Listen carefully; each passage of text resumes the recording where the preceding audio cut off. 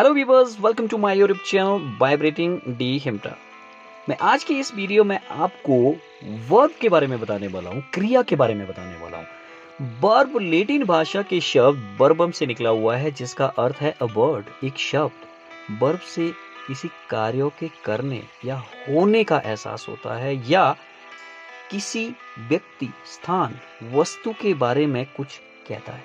और सभी कहने वाले शब्द क्रिया कहलाते हैं। व्यूअर्स वर्ब को मुख्य रूप से दो भागों में डिवाइड किया गया है main verbs and auxiliary verbs main verbs के दो भाग है ट्रांजिटिव एंड इंट्रांजिटिव और ऑक्सिलरी वर्ब्स के भी दो पार्ट है प्राइमरी जिसको हम लिंकिंग वर्ब भी कह सकते हैं and second part of auxiliary verbs is modal primary को तीन भागों में डिवाइड किया गया वर्ब्स टू बी जिसमें is am are was were होते हैं। वर्ब्स टू हैव जिसमें हैज़ हैव हैड का यूज़ होता है। Verbs to do do does did होते हैं। देर आर सम एग्ज़ाम्पल और इन एग्ज़ाम्पल की सहायता से मैं आपको बताऊँगा कि इसमें कौन से ऑक्सिलरी है और कौन सी मेन वर्ब है।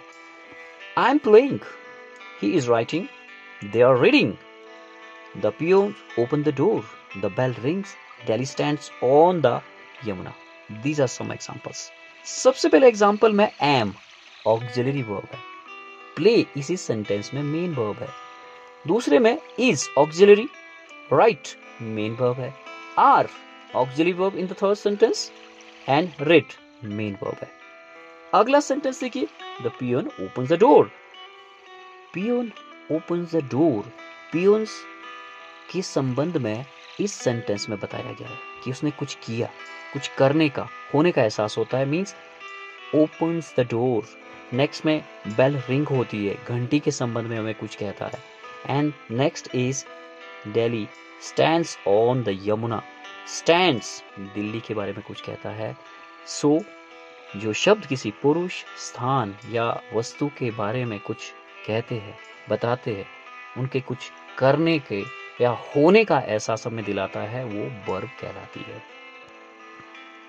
Dear viewers in today's video मैं आपको इंट्रांजिटिव वर्ब्स के बारे में बताने वाला हूँ असकर्म क्रियाओं के बारे में कहने वाला हूँ, जो वर्ब बिना किसी ऑब्जेक्ट का यूज़ किए सेंटेंस का अर्थ पूरी तरह से स्पष्ट कर देता हो, उसे इंट्रांजिटिव वर्ब कहा जाता है। इंट्रांजिटिव वर्ब में एक्शन कर्ता तक ही सीमित रहता है ऑब्जेक्ट पर पास ओवर नहीं होता है।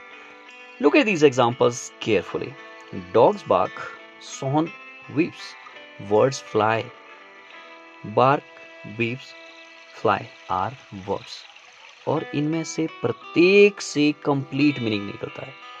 और इनमें से किसी क्रिया के या वर्ब के अर्थ को पूरा करने के लिए उसके बाद ऑब्जेक्ट लगाने की ज़रूरत नहीं है।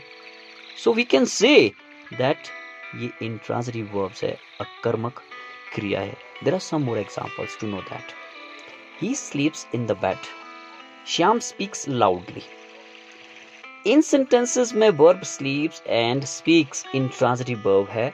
वाई क्योंकि इसमें एक्शन सब्जेक्ट या कर्ता तक सीमित रह गया है। किसी ऑब्जेक्ट पर पास नहीं हुआ है।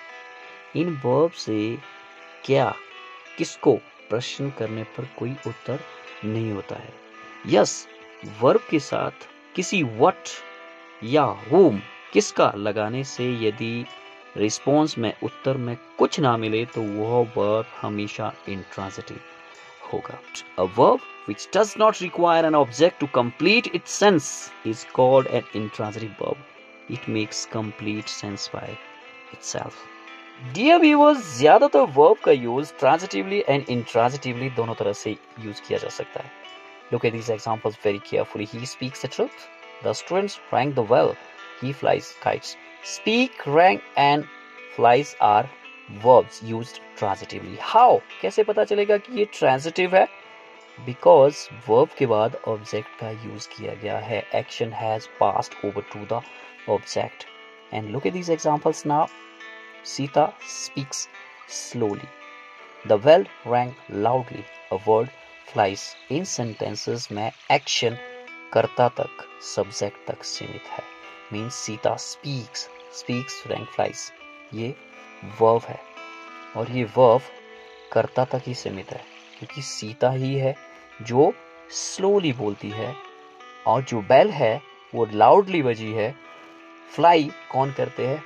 वर्ड ओके जब वर्ब का प्रयोग या यूज़ ट्रांजिटिवली होता है तो इसके साथ ऑब्जेक्ट हमेशा लगा रहता है लेकिन जब वर्ब का यूज़ इंट्रांजिटिवली होता है तो इसके साथ किसी तरह का कोई ऑब्जेक्ट नहीं आता है किसी भी वर्ब के लिए ये कहना कि यह ट्रांजिटिव वर्ब है या इंट्रांजिटिव वर्ब है दिस इज़ रॉन्ग इसके बजाय हमें यह कहना चाहिए कि वर्ब का यूज़ ट्रांजिटिवली या intransitively हुआ है That's it viewers. See you soon in the next video in which we will discuss transitive or sakarmak kriya.